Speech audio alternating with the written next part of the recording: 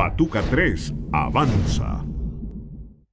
La Unidad Especial de Proyectos de Energía Renovable, WEPER, proyecta para 2017 importantes avances en el proyecto hidroeléctrico Patuca 3.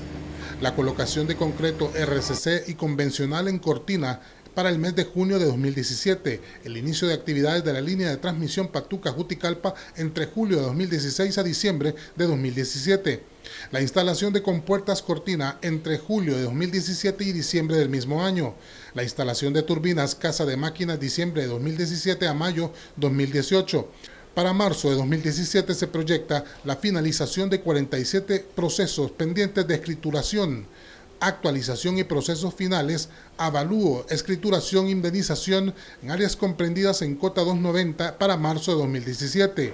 Hasta finales de 2016, Patuca 3 presentaba un avance del 61%. La obra gris estará concluida entre los meses de junio y julio de 2017. Estos son los avances del más grande proyecto hidroeléctrico construido en los últimos 35 años.